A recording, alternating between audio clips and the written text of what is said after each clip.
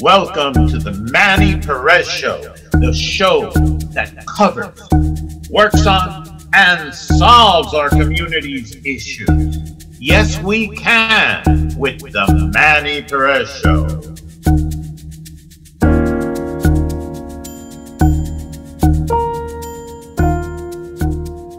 Hi, everyone, and welcome to the Manny Perez Show. And yes, I'm Manuel Perez Manny your coach hispano, life coach, success coach, your democratic leader, the person that's always been around this millennia in my community, helping us solve problems. And with me is our journalist, Gabriela Ascanio, who's going to be talking to us a little bit later and our production engineer is Julio Camacho. And today we're dealing with diversity. Diversity, such a wonderful word, and one that politicians use all the time. But what does it really mean? Well, we're going to get into that in a few minutes. But first, our journalist, Gabriela Ascanio, is going to tell us about what's going on. Gabriela. Okay, so um, we're going to start with the news, and we're going to start with good news because every week we have we talked about the um, violence in the street, and not today. Today we're going to talk about COVID uh, nineteen and that we have a new vaccine. Johnson and Johnson has a new vaccine that's already has been approved. So that means that.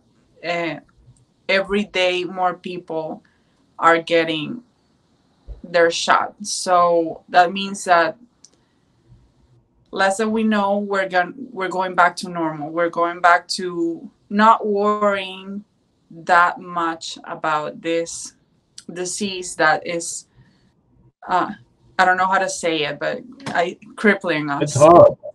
it's horrible. Yeah. I don't think there's another word.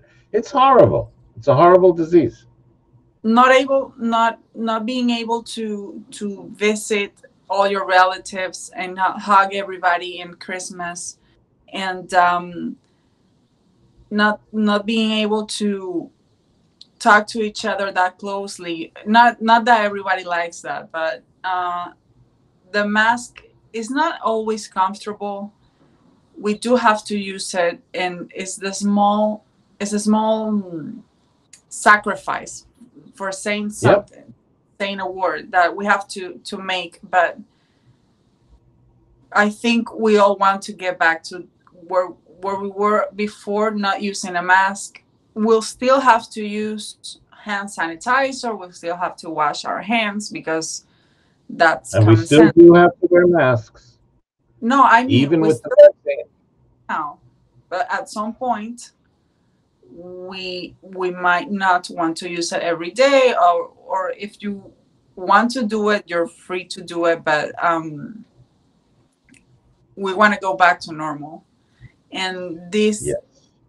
and having one one more vaccine uh i think that that looks like we're getting there. Yes. And um so we have new site vaccines, vaccine sites. We're getting more groups of people getting their vaccines. So that means that happy news. And also we're getting uh, 35% capacity in all restaurants and um, we can uh, have indoor dining until 11 p.m. That means that those businesses might get back on their feet because it's very, it's been awful this last year, especially for them because um, not mm-hmm. being able to their customers inside, not everybody orders delivery, not everybody has the, their time to go and pick their food up. So that all that's all good news. We might have uh, Broadway back. We have we might have our ballet. We we are going to get our new our uh, movie theaters. So step by step, we're getting there. We're getting the things that we're used to, and there's only happy news today. Great. It's wonderful. And yes, if you have the chance to get any of the vaccines, don't pay attention to the people that say, oh, no, I want the best one. I want this one. No, get the one you can get. Get some protection because every vaccine is protecting us.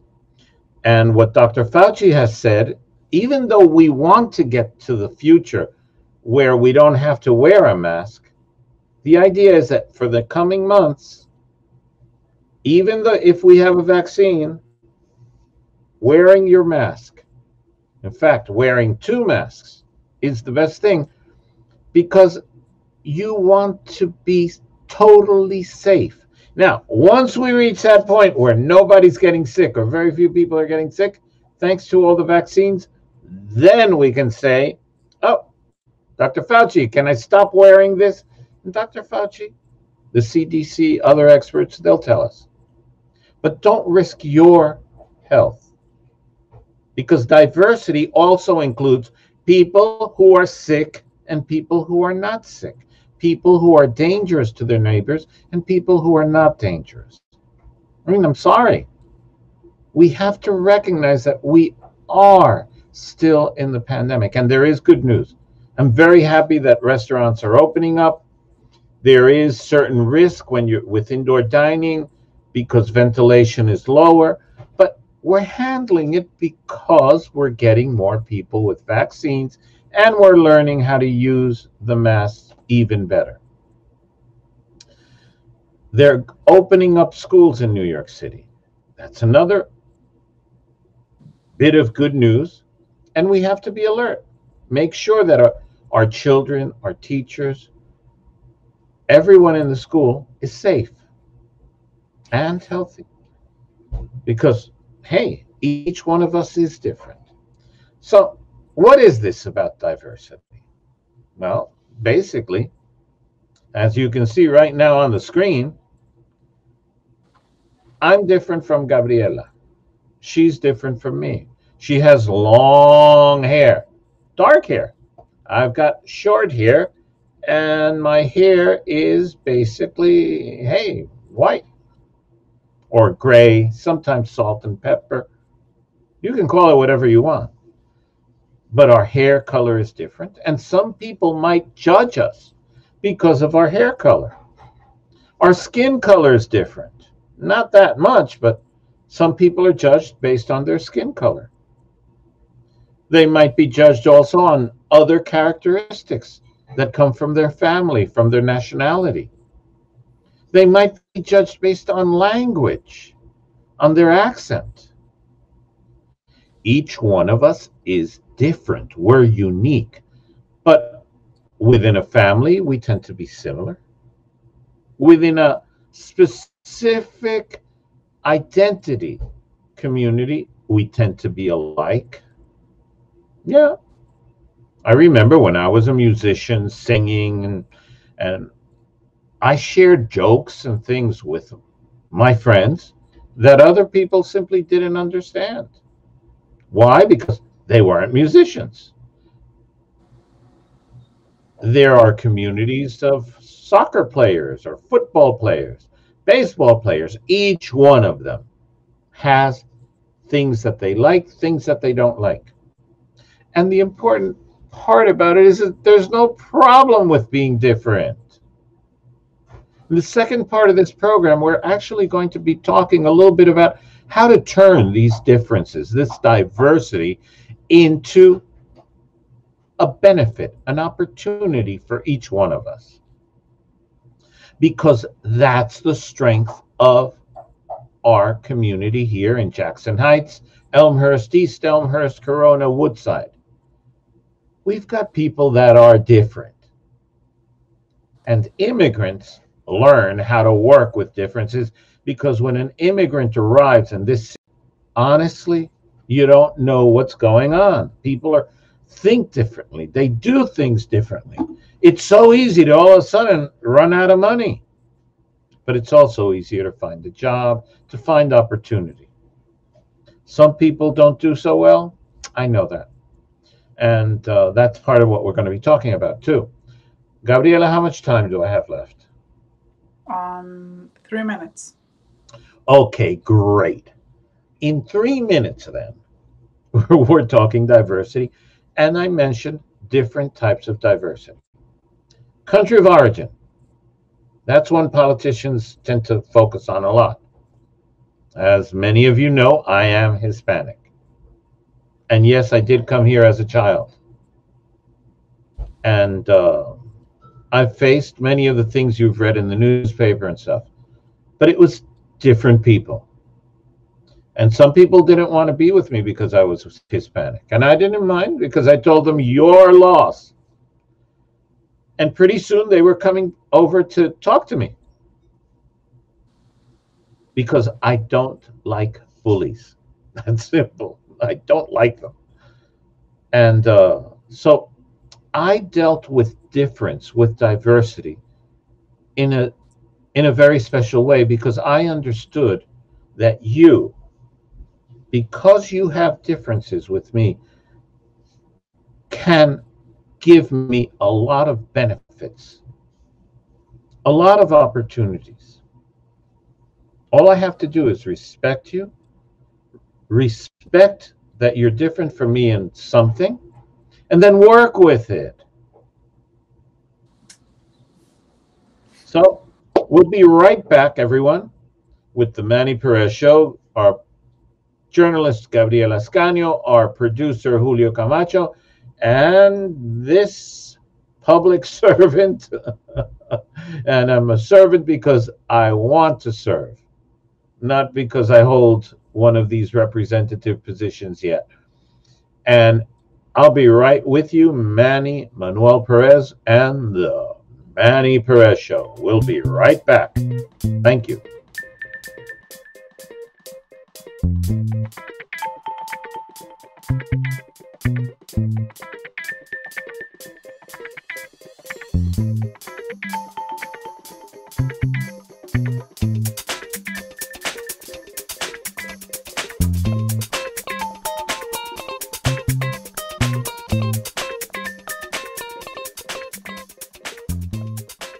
Hi, everyone, and welcome back to the Manny Perez Show. Yes, I'm Manuel Perez, Manny, your life coach, success coach, democratic leader, and the person who's always working to find solutions for our community. With me is our journalist, Gabriel Ascanio, our production engineer, Julio Camacho, and we're talking about diversity.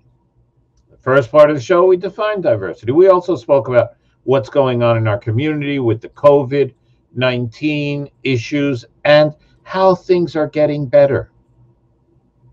And yes, there are some people who like always criticizing, always finding what's wrong with something. They're the kind of people that will go into a feast and criticize that the raisins aren't wrinkled enough or something like that. So, guys, there are people, my students would call them haters. My children probably would also, and you might. There are haters, but there are also people who are positive. There are people who really like making friends and sharing. And I think most of us are like that in this community because in this community, there's always been people who help me. And this is something since I was a child. So keep on doing that. Now, we're talking diversity. So right now, I want to mention one situation that many of you have not had that experience. So uh, we have to go into it. A lot of people in the US live on farms. Yes, that's one of the basic differences we have right now in the whole US population. We are city people, we live in New York City, and there are people who live in what they call rural areas, basically farms. And uh, it's not the same because in a farm there's not that much diversity. Sorry. So, Gabriela, can you tell us a little bit about your experience with living on a farm? Yeah. Um, my mother's family owns a, a farm, and every vacation that I have, every long weekend, I spend it over there, and I really loved it. I loved the the creeks and the animals and being free running on uh, through the mountains and um, it was a, a, really happy moment for me um, but then i grew up and i didn't have uh, my phone i didn't have any tv because we didn't have any signal. And um, since we lived in a mountain and um, surrounded by a lot of trees when it rained maybe a tree fell and damaged the power the power lines and we didn't have any electricity that means no tv at all and um, it's a nice weather so it didn't matter if you had electricity or not and people are over there are used to but then i was an, an adolescent and um, I got bored really easily and I didn't spend a month as I used to. I wanted to leave early. I called my mom and I said, I want you to pick me up because I don't want to be here as much as I used to before because I got bored. Um, but it was really nice because you play with animals and um, as you grow up, as you grow old, and your mind change your the things you like and um, yeah, it was nice, but it was different, and it's so weird because you you have your phone like it's another limb, and uh, it's the first thing you see when you wake up, and it's the last thing you see when you go to bed, and um, and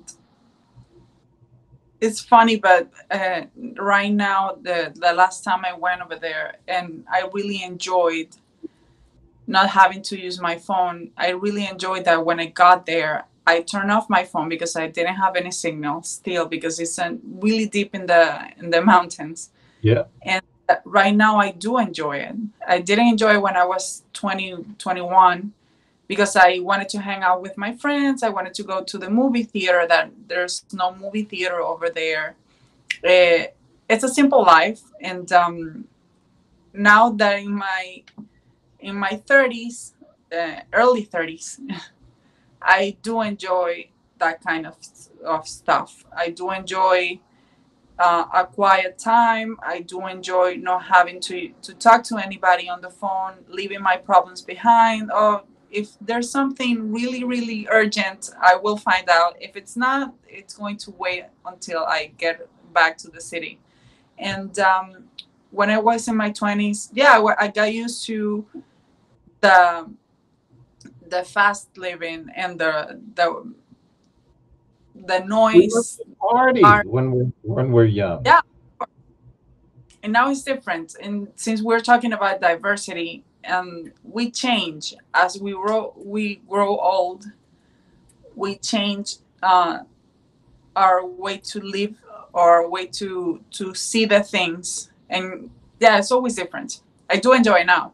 I always yeah. enjoy it but it it changed through, the times we change as we grow but for all the young people that are watching, hey, wanting to party, wanting to be with your friends, feeling desperate because you're locked in, that is perfectly normal. Even people that have lived all their lives on farms when they're young, when they're adolescents, hey, they want to party, they want to do something that's different. We're lucky, we've got cell phones, so we're not far away from anyone when we have service, as Gabriela pointed out. But then when we grow older, there are moments in our life when we want some quiet. We want to be cut off from the world. And yeah, some people have the money to say, okay, I'm going to Antarctica for a vacation. And they actually go, they see the penguins. They're far away from everyone. Some people take other cruises because on a cruise ship, you are disconnected from the cell phone for a few days. There are different alternatives. But here in our community, with so much diversity, we can choose. We can unless you're like it was in my house when I was a kid, uh, with my siblings there. I mean, I had very little private time. Even when I was in the restroom, there was always somebody hurrying me, hurry up, hurry up. Well, that's the story of uh, living in a big family with one bathroom. It's something that happens in New York. If you want quiet time, yes, finding it is possible. We do have parks, we do have different places we can go.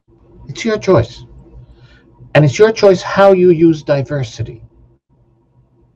You can sit bored because you've put everything different away from you.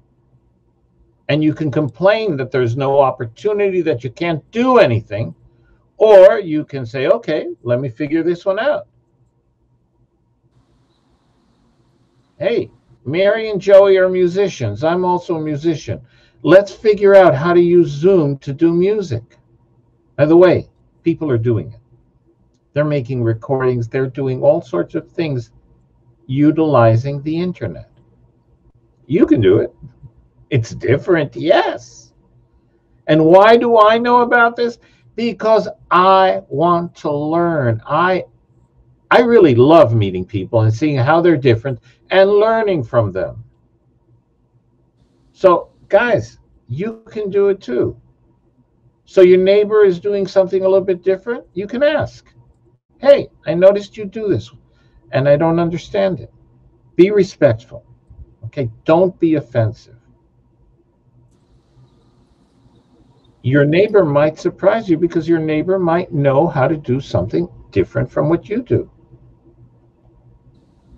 And opportunity can be in different ways. I think everybody knows now New York City is offering new permits for street vendors. I don't know if they have any, but any left because this was a couple of weeks ago. But a lot of people took opportunity that they could get a street vendor permit. And they probably talked to someone else and said, listen, this is what I want to sell on the street that most people are thinking food, okay, food has its good things and its bad things. Because food needs sanitary permits, health permits. But then I have a friend who actually set up an internet business of catnip filled toys. Cats love it. And hey, it was an income over the internet. She'd make the toys herself. Everything was natural. It's opportunity. Oh, you're not a cat person. You want to be a dog person. Okay, you can do that. Oh, you want to be a bird person. That's fine. Find something that people want and need. And it's going to be different for each one of us. What do I offer? I offer to help people be successful. I even do it for free, like now. and yes, is my personality different? For example, Gabriela, she's she's quieter than I am. I think everybody noticed already. I'm noisy and I talk a lot. Okay, that's the way I am. If you want me to be quiet, all you have to say is, Manny, listen and I'll listen. So, with diversity, please look around. Look at your neighbors. See what opportunity there might be. And remember, there are haters. There are people who are going to want to hate someone because they're a little bit different. But you, me, we're different. We're not haters. We're helpers.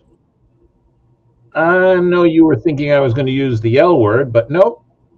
We help each other. Why? Because we care. Because we understand that if you're fine, that means I can be fine. If you're having trouble, I'm going to have trouble. So take advantage of the diversity. Take advantage of the friendships you create. And if you're young, yes, you have opportunities to interact with people, but stay safe. Please, you will be getting your vaccine soon because now we have a third vaccine. don't forget, wear your mask. Stay safe. And I think I ran out of time, Gabriela. Yes. Oops. Isn't she nice? She doesn't scold me. She doesn't cut me off. She just says, yes. Well, thank you everyone for sharing with us. I hope you liked this program. Please do contact us. We are here to help you. And once again, next Monday, 7 p.m., we're here with you with another program of The Manny Perez Show with me, Manuel Perez Manny, your community leader here in Northwest Queens, with our journalist, Gabriela Ascanio, and with Julio in America TV Productions. Thank you very much. I'll see you next week. Thank you for joining us on The Manny Perez Show, the show that covers, works on, and solves our community's issues. Yes, we can. The Manny Perez Show.